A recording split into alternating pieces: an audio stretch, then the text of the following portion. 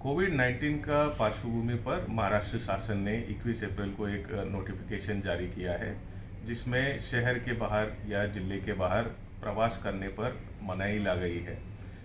सिर्फ़ कुछ कारण, अत्यावश्यक कारण, जो कारण इस नोटिफिकेशन में मेंशन किए गए हैं, इसी कारण के लिए शहर के बाहर या ज़िले के बाहर प्रवास कर सकते हैं।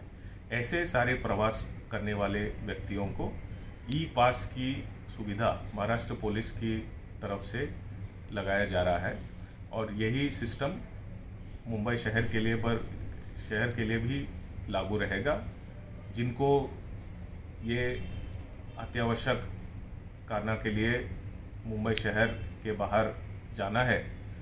वो व्यक्ति Covid nineteen dot M H dot in इस वेबसाइट पर अर्ज़ करना है।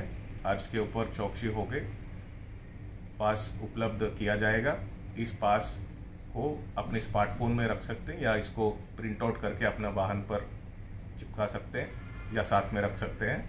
ये पास सिर्फ़ मुंबई शहर के बाहर जाने के लिए है। मुंबई शहर के सीमे के अंदर प्रवास करने के लिए ये पास नहीं है।